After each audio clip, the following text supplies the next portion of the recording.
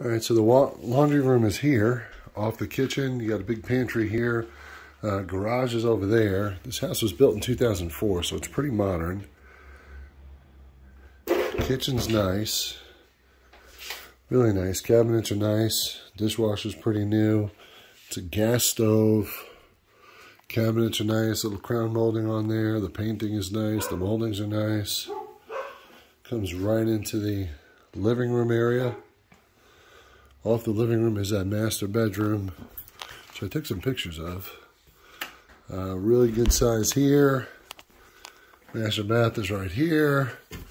Then your closet's over there. The closet's pretty deep. Boom, boom, boom. Yeah, this floor is really, really nice. All right, over here is where your friends would be. It's a nice door. Oh, look, there's already a treadmill. This could be Sue's room. Again, the nice hardwood floors throughout here.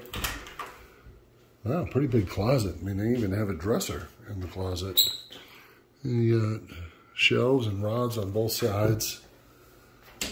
Good sized room. Here's the other bathroom. This is a full bath. This is right in between these two bedrooms. Bed, the bedrooms look to be about the same size. They're just shaped a little bit differently. And then this one has the closet right here. Same thing, big enough to have a dresser in there. This is the house at 4403 Kemper. Nice tiled entryway. Nice walkway, little landscaping, nice door.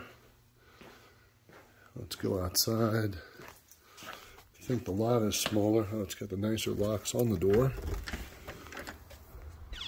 Yeah, nice covered patio. Not a huge patio. Oh, actually a good sized patio. They got a fire pit and it's covered. The fence looks really, really good shape. Decent sized backyard for dogs. Side entrance.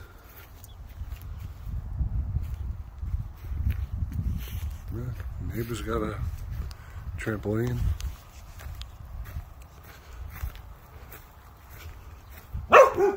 Nice run down the side. AC unit looks pretty new. Roof was replaced two years ago.